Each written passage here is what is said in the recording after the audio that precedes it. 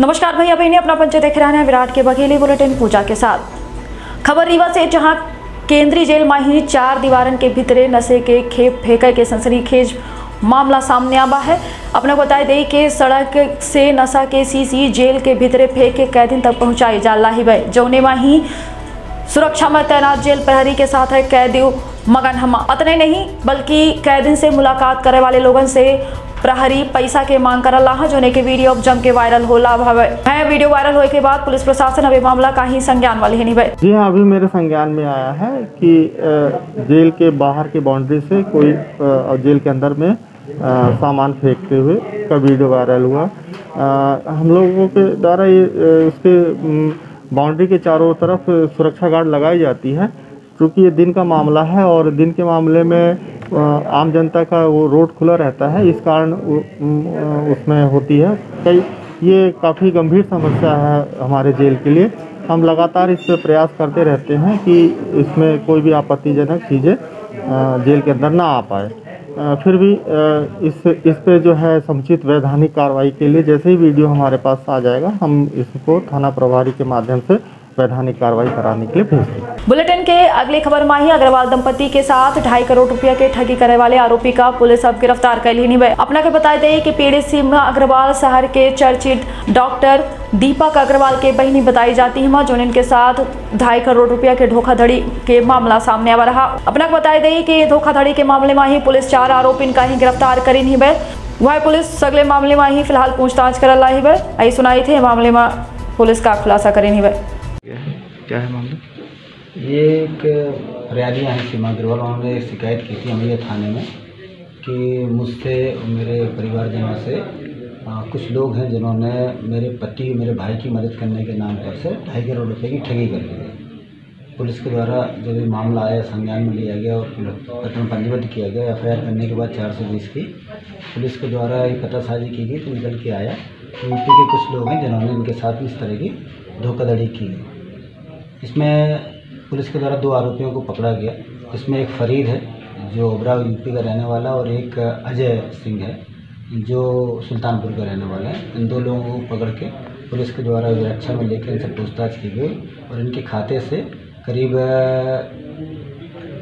Cash के रूप में 19 लाख रुपए और एक होंडा सिटी कार जो 15 लाख की है, वो जब्त की गई है।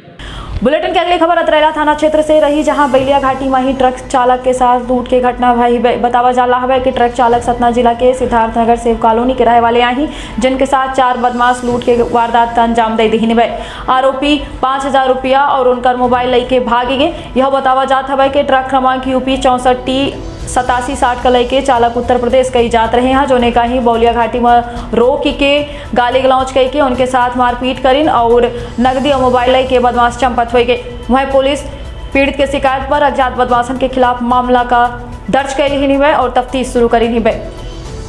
यह में के लूट और चोरी के वारदात भय मनगवा के आंबी मोड़ में ही जहाँ युवक के साथ बदमाश लूट के घटना का अंजाम देहिन बतावा जाता है कि युवक से एंड्राइड मोबाइल और आठ सौ रुपया नकदी छुड़ाए के बदमाश भाग निकले हम। अज्ञात बदमाशन के खिलाफ मामला का दर्ज करके पुलिस छानबीन कर रही है।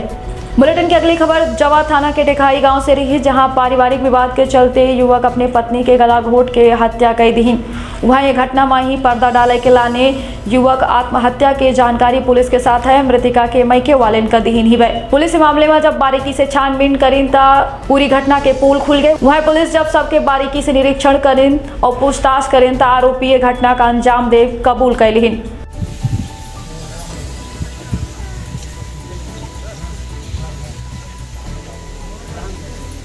बुलेटिन के अगली खबर माही, निसंतान महिलाओं का तेर खुशखबरी है अपने खबर बताई दे कि रीवा माही, श्याम शाह मेडिकल कॉलेज में आईवीएफ सेंटर खोले जाए के अनुमति मिल चुकी है इस संबंध में ही श्याम शाह मेडिकल कॉलेज के डीन मनोज इंदुलकर बताएँ कि श्याम शाह मेडिकल कॉलेज में ही आईवीएफ सेंटर खुल जाए के बाद यह रीवा खातिर बड़ी उपलब्धि हुई। अब जो महिलाएँ बच्चन के एहसास से वंचित हैं और बाहर जाए मासमर्थ हैं। उनके खातिर यह शासन के एक नया उपहार हुई। आई में हमारे जो निसंतान दंपति होते हैं, जो जो कि हर पाँचों दंपति में उसको ये इनफर्टिलिटी की प्रॉब्लम आती है तो हमारे यहाँ पर जो गायनी विभाग है, इसमें हम लोगों ने स्टार्ट किया जाना है। शासन से हमको दिशा निर्देश प्राप्त हो गएँगे और बजट भी कुछ ही समय बाद प्राप्त हो जाएगा ऐसी आशा हम करते हैंगे। तो इसमें हम लोग गायनी में एक अलग से हम जगह ईयर मार्क किए, चिन्हित कर ली गई है कि वो जगह पे हम लोग जो है जो आवश्यक उपकरण रखना और आवश्यक जो सुविधाएँ होना चाहिए आई की वो हम लोग कर रहेंगे। हम लोगों ने पहले प्रथम तो 2000 स्क्वायर फीट में एक डिमांड की थी उसके बाद शासन ने कहा कि नहीं एक हज़ार स्क्वायर फीट में ही उसको आप उसका निर्माण करें। तो अभी ये सब प्रचलन में है प्र, कुछ ही समय पश्चात हम लोग भी आईवीएफ में सक्षम हो जाएँगे और हमारे यहाँ पर ये कार्य अच्छे से गायनी विभाग करेगा। सर अभी रीवा ज़िले में और कहीं है कि नहीं है? ये रोशनी क्लिनिक करके डिस्ट्रिक्ट हॉस्पिटल में इसका संचालन होता हैगा पर हमारे यहाँ पर जो स्टार्ट होगा वो काफ़ी एडवांस होगा। वहाँ पे एम्ब्रोलॉजिस्ट होंगे विभिन्न काफ़ी काफ़ी महँगी मशीनें का भी शासन ने हमको देने का कहा हैगा। तो भैया बहनी आज के बघेली बुलेटिन में इतने तब तक खिलाने दे इजाज़त देखते रहिए मारविंद के बघेली समाचार। नमस्कार।